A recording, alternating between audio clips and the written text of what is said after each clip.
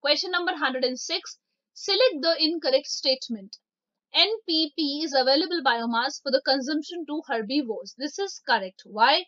Because the gross primary productivity minus respiration of plants is net primary productivity. And this net primary productivity is the available biomass for the consumption to herbivores. So this is correct. Second, NPP is less than GPP. Yes, because GPP is the gross primary productivity and NPP is net primary productivity. So GPP is obviously more than NPP. So this is correct. Third, GPP is primary productivity whereas NPP is secondary productivity. No. NPP is also the primary productivity but it is the net primary productivity. It is not the secondary productivity.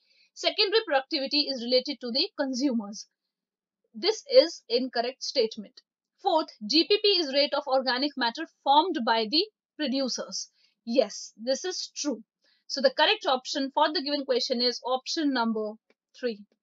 Let's move to the next question. Question number 107. The stalk of ovule by which it remains attached to placenta is.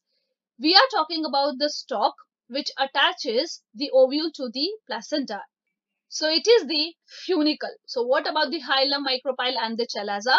Hilum is the scar on the seed. Micropyle is the opening in the ovule. If we see with the help of a diagram, we'll find this is the micropyle because this is the opening in the ovule. The base of the ovule is called the chalaza and you can also say that the opposite end of the micropyle is the chalazal end.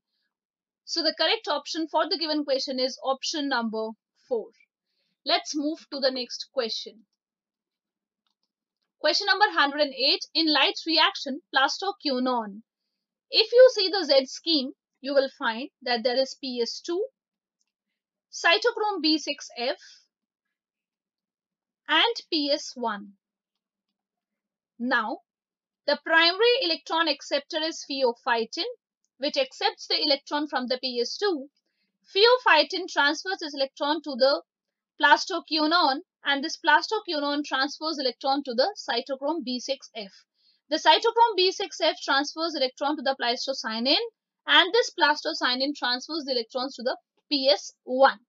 Now, the question is talking about the plastoquinone. So, this plastoquinone transfers the electron from PS2 to cytochrome B6F which is clearly seen in the given diagram. Now, first option, it acts as electron acceptor and does not accept H+. It does. Second is primary acceptor of electrons from PS2. No, the primary electron acceptor of PS2 is the pheophytin, not the plastoquinone. Third, transfers electrons between PS2 to cytochrome B6F. Yes, it is clearly seen here that from PS2 to cytochrome B6F, the transfer of electron takes place by the plastoquinone. So this statement is true. Fourth, transfers electrons between cytochrome B6F to PS1. No, it is done by the plastocyanin. So the correct option for the given question is option number 3. Let's move to the next question. Question number 109. Match the columns and select the correct option. Saccharomyces cerevisiae. It is the yeast and yeast is common in the baking industry. So brewing and baking industry, they use yeast for fermentation processes. So A matches with second. All other options are ruled out as in the second option only we can see A is matched with second. B. Monascus purpureus. It is again a yeast which is used to produce this statin. So B matches with third. Now C. Clostridium butylicum. Clostridium butylicum is used to produce butyric acid. So C matches with fourth. D is lactobacillus. It is used in making the curd from milk. So the correct option for the given question is option number 2. Let's move to the next question. Question number 110.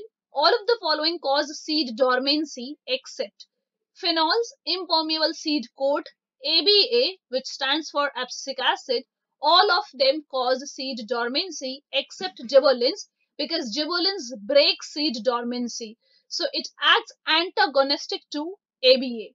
So the correct option for the given question is option number 2. Let's move to the next question.